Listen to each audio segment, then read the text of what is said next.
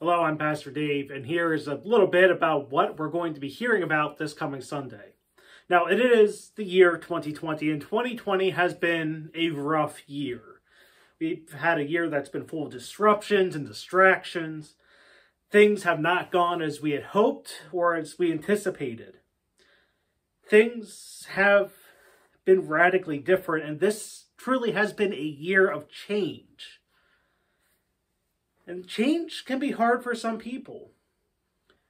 But what's even harder to figure out right now is what is going to come. I mean, do we have any idea? I mean, think of all the changes that we've encountered this year. The way we do things is different, and we have to wonder whether those things are going to stay that way or if they're going to change back. What's going to be permanent? And what things that are yet to come have we not encountered yet?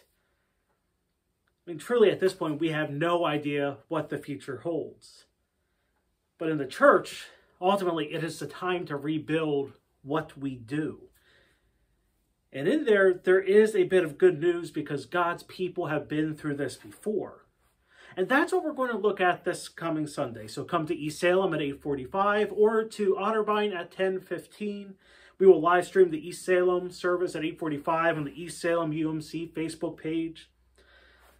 Come on Sunday and let's see and dwell on what God wants us to rebuild. I hope to see you on Sunday.